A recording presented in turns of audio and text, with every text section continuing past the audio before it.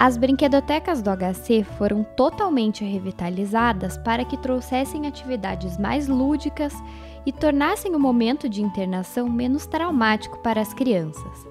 A ideia aqui é garantir a saúde emocional dos pequenos.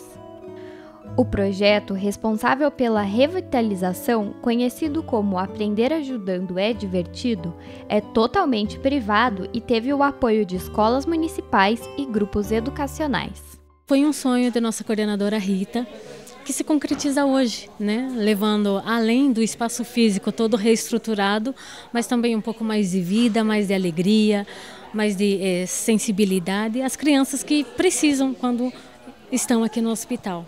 A cerimônia de abertura das brinquedotecas aconteceu no salão principal do hospital. Além delas, o hospital também comemorou a compra de um veículo que facilitará no transporte de pacientes. Estiveram presentes no dia o presidente da Associação Amigos do HC, a superintendente do hospital e a vice-reitora da universidade, Graciela Bolzol de Muniz. Essas são demandas que já teve o Hospital de Clínicas, eh, da compra do carro para transportar, a vezes, doentes eh, da família ou das necessidades que tem o complexo Hospital de Clínica. E as quatro brinquedotecas são uma parte importante onde se aprende brincando e que nós temos que aprender com as crianças a ensinar a parte de doações, de solidariedade.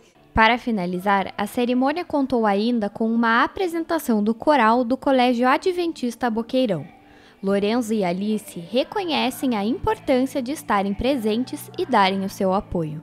A gente se sente bem quando a gente ajuda umas, o próximo como a nossa escola sempre ajuda um ano. É, um ano a gente sempre ajuda alguma caridade. Achei muito legal e também é bem interessante você conseguir expressar seus sentimentos, conseguir expressar alegria, amizade, expressar sobre a palavra de Deus pela voz. É bem legal estar aqui cantando para todo mundo.